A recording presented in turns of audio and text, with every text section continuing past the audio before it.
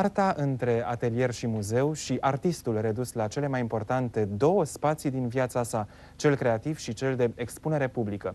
Plecând de la aceste două concepte, Gili Mocanu a selectat în expoziția sa de la Muzeul Național de Artă Contemporană, alături de Echerul Papal, două serii restrânse de pictură, precum și caetele sale de schițe prezentate public pentru prima oară. Expoziția Fiecare dintre cele două momente și-a găsit locul perfect în sălile de la Muzeul Național de Artă Contemporană. Este probabil un semn că experimentul desenului în spațiu pe care l-a încercat de această dată Gili Mocanu este o reușită.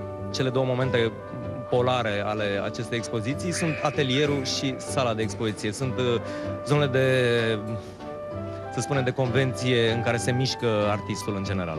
În expoziție am găsit și lucrări luate direct din atelier, caietele de schițe. Sunt obiecte care până acum nu au mai fost prezentate public și care, fiind selectate din ultimii 10 ani de lucru, pot oferi o panoramă a temelor și a vocabularului plastic al artistului. Se adaugă la acestea cele două obiecte volumetrice. Cele două obiecte volumetrice pe care le avem aici, special realizate pentru această intervenție, uh, vorbesc într-un fel despre capăt, și drum.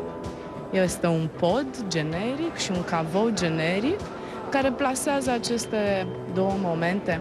Da, în interiorul lor, pe această distanță, este artistul cu lucrările și problemele lui, cu felul lui uh, ușor antisocial de a le anunța, dar uh, foarte pertinent și persuasiv până la urmă. Pierdut sau regăsit în spațiu, călător sau aparținând unui loc, în umbră sau plin de lumină, toate aceste stări le trăiești la Muzeul Național de Artă Contemporană printre lucrările lui Gili Mocanu, până în 27 iunie.